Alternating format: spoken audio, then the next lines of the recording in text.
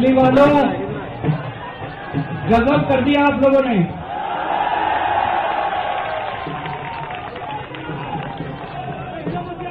her family I love you